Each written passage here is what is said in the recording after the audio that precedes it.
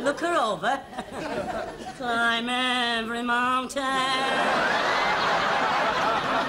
Go on, Sir Edmund Hillary. Well, like I was wondering, like, love, if you'd uh, like uh, like to get out of it. Whether you'd like to, uh, yes. Well, have a seat, will you? Sit down there. Oh, I say, yes. Well, now get out of it.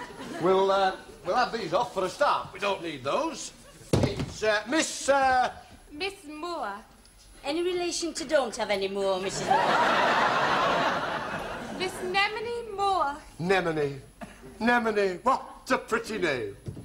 Ah, what you gawking at? Well, haven't you got something to put to her? I mean, that's... Ask her a question. There's only one question I want to ask. Uh, when can you start? As soon as you want me. Oh, well, that's settled then, isn't it? Don't be so fast. Aren't you going to test her out? now, in front of you. Take down the particulars. Oh, I, uh, I don't have to. They're all in order. Will be. I don't think I've met this, uh, this lady. Well, I suppose you could call her that. Now, let me see. How is it best to describe her? Yes, she's our Miss N. Pledge. How'd you do? Breathing. I thought perhaps it might be Mrs. Pledge. You mean my mother? Can I have a word in your ear hole? in the antechamber room. You what? You know, where we executioners go when there's some trouble brewing. In the parlour, you big girl's blouse. Excuse us, Enima.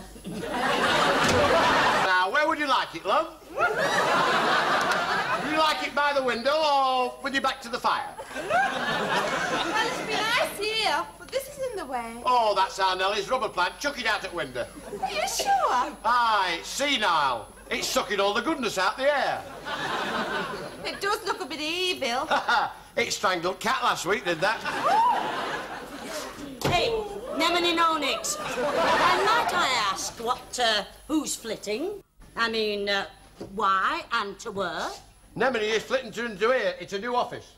Oh, yeah? What, in my parlour? Says who? Says me as joint managing director, so get knotted. She's not bringing her bits and pieces into my parlour where my dad was lay lying, lie dead. Well, you never use it. Well, parlours are not for using. I mean, they're for keeping For what? things. Not things like that either. the funerals and when it's our turn to have 'em at Christmas. All right. like me Auntie May, who sang one chorus of I'm dreaming of a white Christmas, not soot fell down bloody chimney.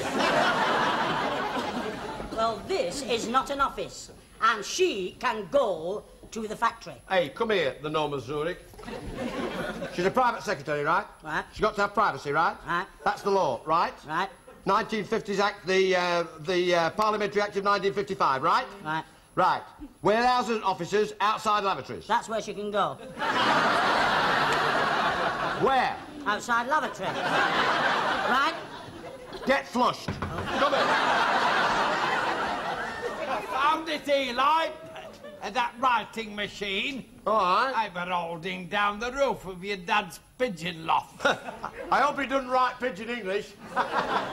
it's a joke. Put it there, Bert. By the... Bert, Bert. Bert. Down, Bert, down. I'll stop your bones. Right, come on, love. Let's get working. Come on. Get round there, Nemini. There we are. Now. Ah, Miss Nemini needs a chair. Miss M. Pledge, would you get them in a chair, please? Uh, Mr. Eli Pledge, take a double-breasted ball of chalk and get one yourself. Charming, isn't it, eh? Right. Sit yourself down, look. There we go. I want you to do a, a memo to, uh, from the senior executive to all the working classes over there.